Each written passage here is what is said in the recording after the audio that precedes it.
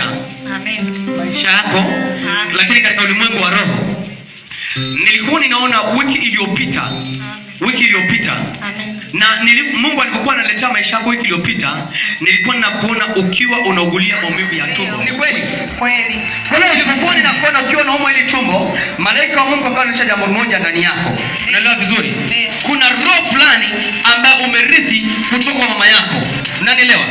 Na hii roho mara nyingi haiwachi wanawake wakatulia kwenye ndoa mara nyingi mnaachikaga ndio mnaachwa na wanaume Ndio. Ha? Ndio. kwani umesema ndio? Wapo ndugu zangu walioachika. wewe niki, nikiwa ninakuangalia ninaona kwamba unapita kwenye mateso makubwa sana Ndiyo. ya kifamilia na ya kwenye ndoa Ni ni kama vile haujui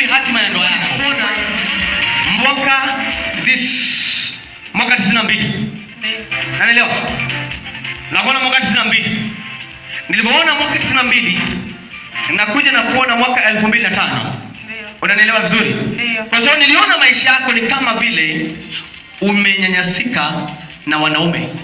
Kweli. nanielewa mwaka 92 nakuona na mwanaume mwingine.